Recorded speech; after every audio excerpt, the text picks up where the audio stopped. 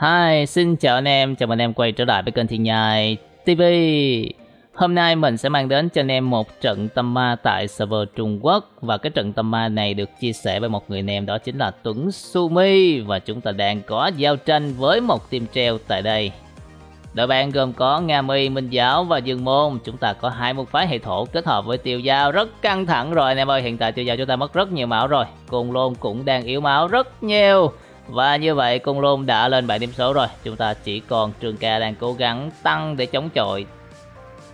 Tiếp tục, thất thảm anh em ơi. Có chiêu nào mình xài chiêu đó để cấu đam? Và như vậy chúng ta kết thúc được hai thành viên tinh đoàn Minh Giáo đã dặm. Chúng ta có chiêu lóc Lóc lên, tuyệt vời. Trường ca hiện tại đang bị khống chế rồi. Trường ca ơi, vẫy vài cái nữa. Và như vậy là Trường ca đã bị Minh Giáo kết thúc. Chúng ta cũng mất rất nhiều máu cho pha giao tranh vừa rồi như vậy, rất đáng tiếc, hai thành viên chung team chúng ta đã phải lên bảng điểm số rồi. Bây giờ tiêu giao phải đi solo cái trận tầm ba này.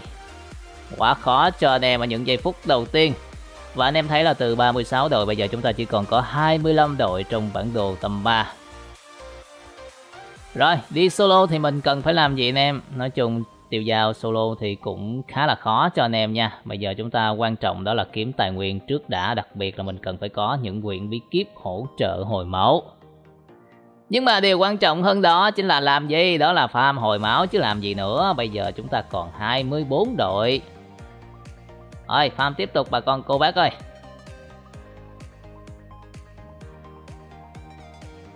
Tiếp tục farm. Anh em thấy là chúng ta hiện tại đang khá là an toàn rồi. Tiếp tục tăng lên nữa. Quá tuyệt vời. Khi đi solo thì lượng tài nguyên đổ về nhân vật của anh em rất là nhiều nha.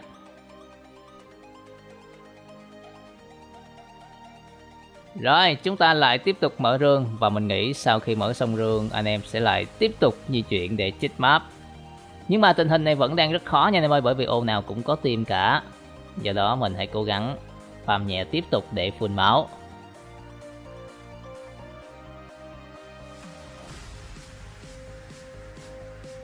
Rồi xong đám lính này nữa là mình sẽ có khá là nhiều tài nguyên về cho anh em cũng như là lượng máu cũng đã dần ổn định lại cẩn thận anh em, cái đó trúng mất nhiều máu lắm anh ơi. Hai ngàn mấy, ba ngàn máu đó anh em ạ. À.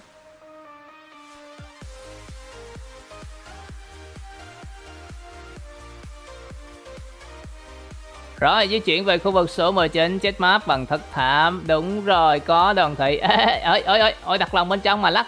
Ôi ôi, cái lòng nó ảo. Giá mang cực kỳ anh em à Ủa, mình cứ nghĩ là dùng thất tháo thì mình sẽ thoát khỏi cái lòng Ai ngờ. Chúng ta vẫn bị lòng bắt dính Rất may là team đội bạn đã không cho một cái lục mạch vào như vậy ở bên kia chúng ta sẽ có một team đoàn thị với hai môn phái nào đó mình chưa kịp nhìn thấy và mình đã thấy ảo tượng xuất hiện rồi. Chúng ta tiếp tục úp về khu vực số 19. Lướt vào có cục lô anh em ạ. À.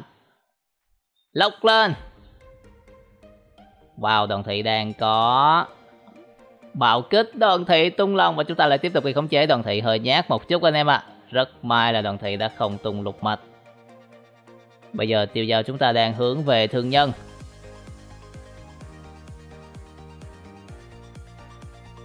Ui, Thiên Vương đuổi theo kìa đẹp ơi. Wow. Bên này dường như có một team Thiên Vương lại tiếp tục đuổi theo rồi. Chúng ta lại phải chạy. Rất liều lĩnh luôn.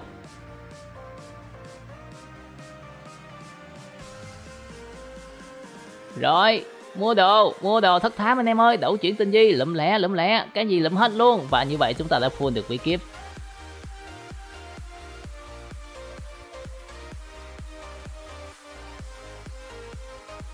Wow, kéo nó lại anh em, Kéo nó lại. Trời, khá là căng nha. Thiên vương xoay trời Wow, con thiên vương này nó bám theo chúng ta từ nãy đến giờ luôn anh em à Lóc lên. Không lóc lên được rồi, Chúng ta tiếp tục tất thám Và như vậy mình kết thúc được một thiên vương tình huống vừa rồi, khá là căng.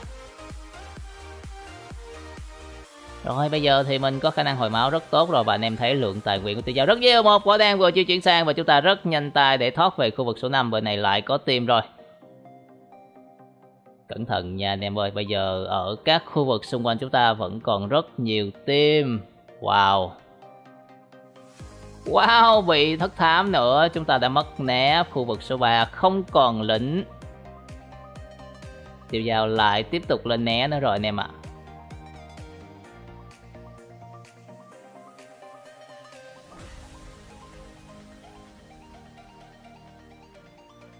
Tiếp tục mở rương thôi, bây giờ vẫn còn 18 đội do đó anh em cứ việc sinh tồn vòng số 1 trước đã nha, sau đó rồi chúng ta tìm kế mà chúng ta xử lý những team khác.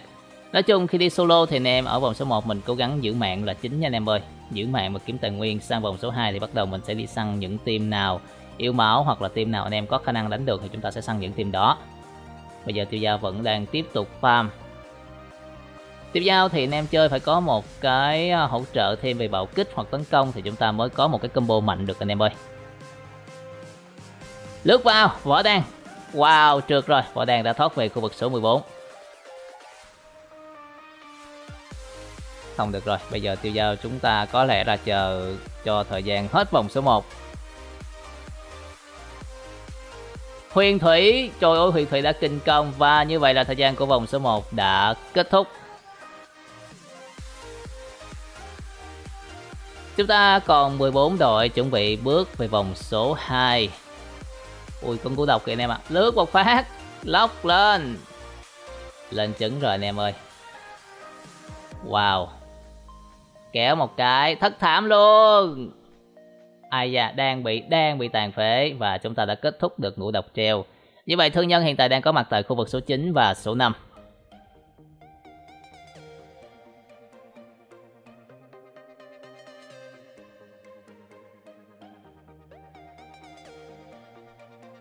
Rồi, bây giờ là đến thời vừa điểm mà tiêu giao sẽ bắt đầu xuất phát này nè. Chúng ta có một cái bộ kích và chắc chắn anh em sẽ tiếp tục áp sát về thường dân. Anh em thấy là tiêu giao rất cẩn thận đang chờ hồi né đó anh em ơi.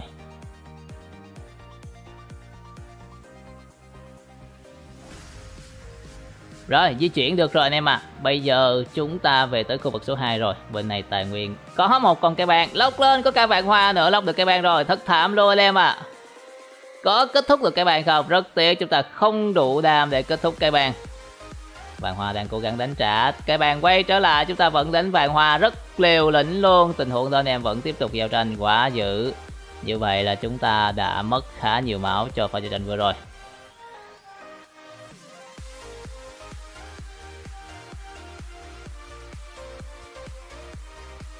Như vậy hiện tại chúng ta vẫn còn 11 đội, kéo một cái. Trời ơi không lên đam. Có bọc kích mà kéo không lên anh em ạ. Tức thiệt sự luôn anh em ơi. Bây giờ chúng ta có đổi phương hướng di chuyển không? Anh em nếu mà di chuyển không được về chính Thì chúng ta có thể đổi về khu vực số 5 nha. Anh em đang rất cẩn thận. Và một nguyên tắc khi đi solo mình luôn à, nhắc nhở anh em đó là chúng ta phải đi check các nguồn tài nguyên.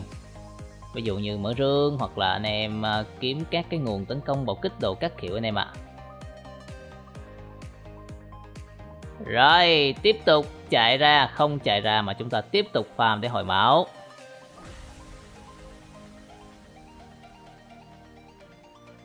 Đây, có rương thì mình mở rương, không có rương thì mình tiếp tục di chuyển. Nó công thức đơn giản thôi anh em. Anh em cứ áp dụng công thức là auto win liền, có một con võ đen. Wow, thiên vương bên này lóc lên kéo đúng được hai thành viên luôn, tuyệt vời anh em ạ. À. Như vậy là sung tiêu đã bị kết thúc với một cái lóc của tiêu giao. Thiên Vương đã lên quần thể Kim Cang rồi, chúng ta hãy lợi dụng thời cơ này đuổi theo con Thiên Vương. Có một võ đàn vừa di chuyển sang, lướt một cái cho nó sợ anh em à. Wow, võ đàn đã bật thuận và sử dụng cái thuận để mua bí kíp luôn, quá dữ. Võ đàn này tay to đó anh em. Biết sử dụng cái thuận để về thương nhân mua đồ, quá dữ chăng nha.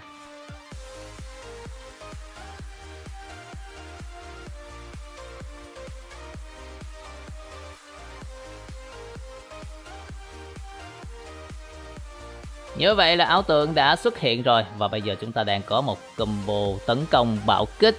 Có một cái quân thể kim cang nữa anh em ạ. À. Như vậy chúng ta di chuyển về khu vực số 2 Bên này có một võ đan kéo lại Lóc lên, tiếp tục là thất thảm Và anh em hiểu chuyện gì xảy đến rồi Quá mạnh cho tiêu dao khi mà chúng ta có bạo kích và tấn công Một thiên vương vừa di chuyển sang Tiếp tục tiếp tục, chọt ngũ độc anh em ạ à. Rồi ngủ độc đâu rồi? Ngủ độc đâu rồi? Bé độc ơi. Ôi bé độc mất tiêu rồi anh em Đây đây đây đây, đây. Ôi vẫn còn ở đây luôn. Dữ dằn thiệt. Wow dữ nha. Chọt nó. Rồi kéo. Tiếp tục. Chọt. Trời ơi hụt luôn anh em ạ. À. Lóc lên. Trượt luôn. Ôi con này nó chạy ghê thật. Quá dữ quá dữ. Thất thả một cái nè. Ôi vẫn còn sống luôn. Rồi ta nói combo tung các kiểu con này điểu luôn. Kéo lại một cái nữa. Rồi chọt chọt chọt chọt chọt chọt. Và như vậy ngủ độc lên bạn điểm số. Ôi bé ngủ độc này lèo lái luôn đất đánh võng ghê thật anh em và phải nói là trong tình huống vừa rồi tiêu dao của mình vẫn rất tỉnh khi mà với sự xuất hiện của cung lôn tiêu dao vẫn không chạy. Cung lôn đuổi theo luôn và chúng ta có quần thể kim cang. Cung lôn chạy đâu đây? Chuẩn bị hồi chiêu lóc rồi kéo lại lóc lên. Và một cái thất thám nữa thì anh em hiểu chuyện gì xảy đến rồi. Tiếp tục lướt không được anh em ạ. À. Wow, đang tiếc mà chúng ta có đoàn thể bên này tiếp tục đánh luôn rất khổ bạo phải nói là tiêu dao đánh rất là ly và gan dạ anh em ơi quá may mắn là chúng ta vừa bắt gặp bạn hoa với cái bàn và họ không đánh trả chúng ta. Rồi, chuẩn bị hồi lóc rồi anh em có ý định xử lý cái team vàng hoa cái bàn hay không? Bây giờ tiêu giao đã full được ba quyển bí kíp rồi anh em ơi. Quá tuyệt vời.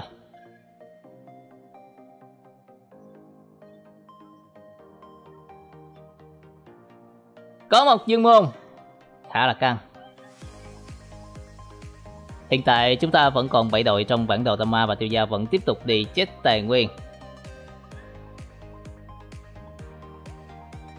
Tính ra là anh em thấy là tiêu gia chúng ta di chuyển, luôn gặp những cái tình huống may mắn, chúng ta không có bị các à, thành viên của những team đội bạn khống chế ngược trở lại. Đó là cái yếu tố rất là may mắn trong Tama nha anh em ơi. Khi mà anh em di chuyển sang những ô khác mà chúng ta bị khống chế thì đó là cái điều bất lợi cực kỳ và chúng ta rất dễ bị sốc đam hoặc là dễ bị team đội bạn bắt và tử vong rồi lượt tài nguyên cuối cùng của vòng số 2 nha anh em ơi chúng ta phải check cái lượt tài nguyên này nó rất là quan trọng quan trọng hơn việc mình mở rương rất nhiều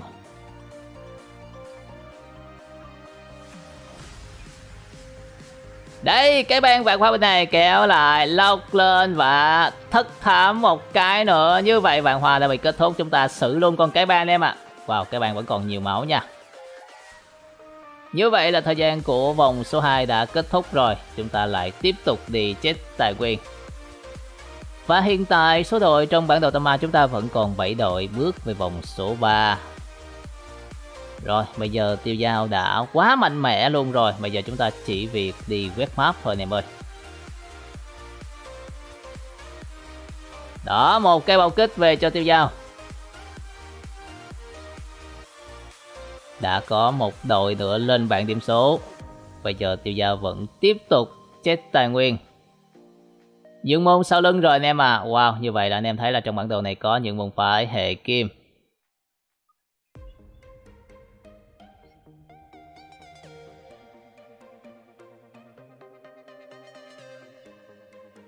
Đấy, có kèo, kéo lại lóc lên, đó là đường môn và đoàn thị. Ôi, hai cái môn phái này nó farm ở khu vực số 7 từ đó tới giờ luôn anh em ạ. À. Một phát lướt nữa.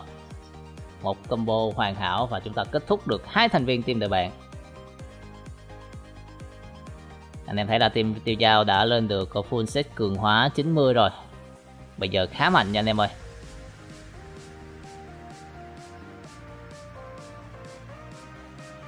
Chúng ta phát hiện được cái bang tại khu vực số 6 và bây giờ chúng ta chỉ còn có 4 đội tiếp tục mua đồ tại thương nhân. Ui, một con cái bang nữa kìa anh em ạ, à. nó vẫn phạm phạm lĩnh rất nhiệt tình luôn và chúng ta vừa lướt ngang một con cái bang. Có lẽ anh em tiêu dao đang có ý định nuôi cái bang để xử lý các môn phái hệ kim. Không nuôi luôn! Ôi không nuôi thiệt anh em. Như vậy là cái bang đã lên bài điểm số. Quá khó khi mà cái bang bị thọt quân hàm bị tiêu dao ăn một combo là không thể nào thoát khỏi được anh em ơi. Cái bang chỉ có thể thoát khỏi combo của tiêu dao khi mà anh em hơn lực chiến, chúng ta hơn quân hàm ha. Tại vì lúc đó cái lượng máu và lượng kháng của anh em đủ chống chịu với một combo của tiêu dao. như vậy là trong bản đồ chúng ta hiện tại sẽ còn hai môn phái, hai team và mình vẫn chưa biết được đó là những team gì.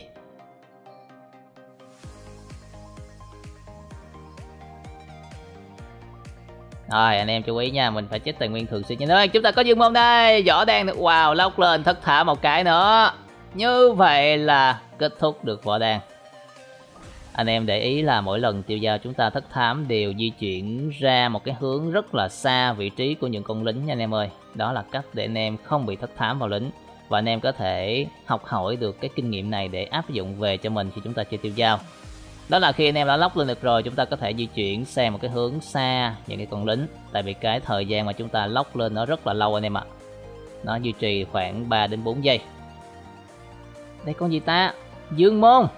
Cố gắng bắt dương vô anh em ơi.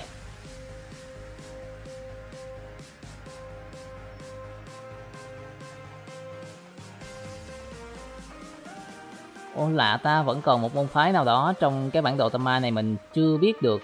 Bây giờ chúng ta có ảo tượng rồi.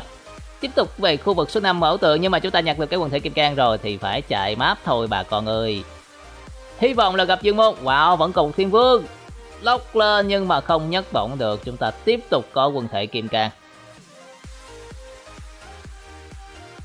Wow, Cái kèo này nó không thơm một chút nào, Bởi vì trong bản đồ này có hai một phái hệ kim. Kéo lại, lướt một cái đây em à. Như vậy là Dương Môn lại tiếp tục thoát thân Thôi thì chúng ta mở nhẹ cái ảo tượng tại khu vực số 3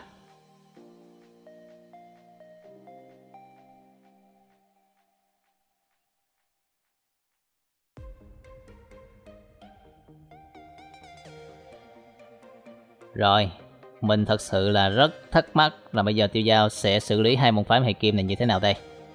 Bởi vì Thiên Vương rất là khó kết thúc trong một combo anh em ơi, bởi vì Thiên Vương có quần thể kim cang và cả Dương Môn cũng vậy. Dương Môn thì anh em chỉ có thể đánh và bám theo. Rồi gần full lực chiến luôn rồi bà con cô bác ạ. À.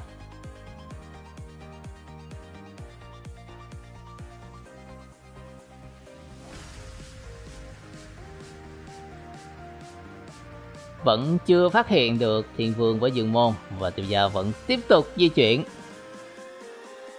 kéo lại, lốc lên, không nhấc bổng được. Đây là lần thứ hai chúng ta lốc thiên vương và không nhấc bổng được. Thiên vương đã sử dụng kỹ năng xoay trì để thoát thân.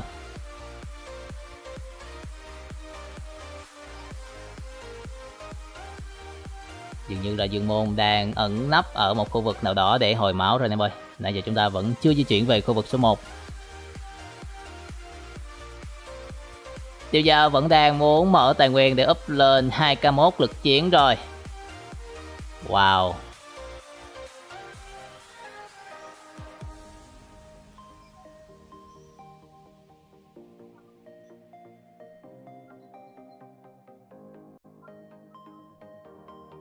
Kéo lại anh em ạ, à. dường như là Dương Môn vừa mới giao tranh với Thiên Vương.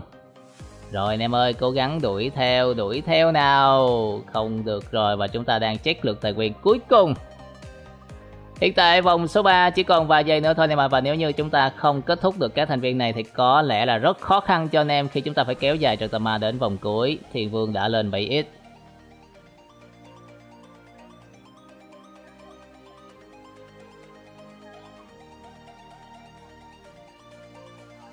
vẫn chưa phát hiện được Dương Môn với Thiên Vương. Đấy rồi, Dương Môn đang cố gắng hồi máu và không hề có ý định đánh trả chúng ta. Cẩn thận bị cấu máu anh em ơi, lóc lên tuyệt vời và chúng ta đã cấu máu được Thiên Vương rồi. Tiếp tục là thất thảm nhưng Thiên Vương đã lên 7x rồi anh em à. Wow, Thiên Vương xoay trì rồi và như vậy là thời gian của vòng số 3 đã kết thúc. Phải nói là rất khó cho tiêu giao trong tình huống này. Và anh em đã để hai môn phái hệ kim bước về vòng cuối cùng và chúng ta đang có một cái kèo rất khó. Hiện tại tiêu dao vẫn chưa full được 2k1 lực chiến.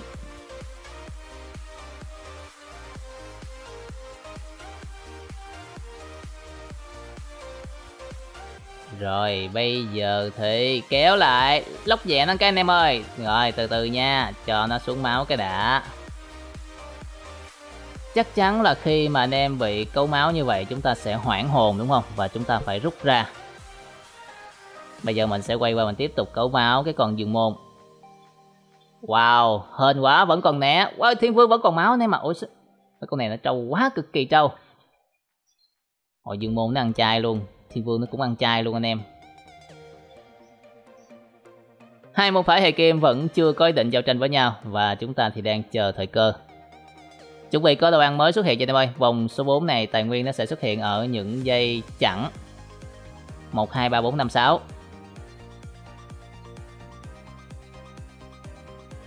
Có máu cho anh em. Lóc lên Kéo lại. Ủa nó mới ăn máu luôn anh em ơi. Rồi rồi. Thất thám luôn đi Thất thám luôn đi. Câu máu nó luôn. Đúng rồi. Đó, Dương môn yếu máu thì con thiên vương chắc chắn nó sẽ lao vào Dương môn lên 7 ít rồi anh em ơi Bây giờ là thời cơ để cho Thiên Vương xả combo và chúng ta sẽ hồi combo. Thiên Vương vẫn chưa có đồng tĩnh.